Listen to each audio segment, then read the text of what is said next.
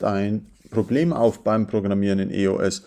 Denn ähm, wir müssen nicht nur die richtigen Methodenaufrufe machen, wir müssen nicht nur die richtige Form der Befehle einhalten, sondern wir müssen auch auf die Reihenfolge achten.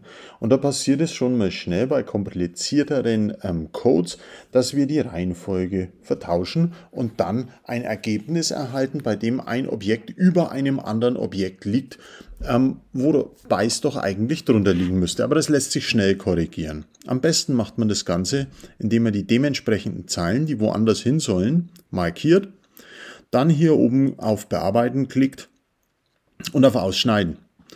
Und dann gehen wir einfach an die Stelle, an die wir das einsetzen wollen, zum Beispiel hier vor Ellipse, machen einmal mit der Return-Taste ähm, eine neue Zeile, klicken auf Bearbeiten, einfügen und zack, sitzt unser Ausschnitt, den wir oben sozusagen rausgenommen haben, jetzt an der Stelle, wo wir ihn hin möchten.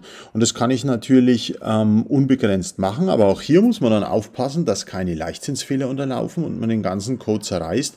Ich muss das von Anfang bis zum Ende sozusagen ähm, markieren. Wenn ich das nur so mache, dann verliere ich hier irgendwo einen Methodenaufruf und das Ganze ähm, funktioniert dann vielleicht noch schlimmer oder überhaupt nicht mehr.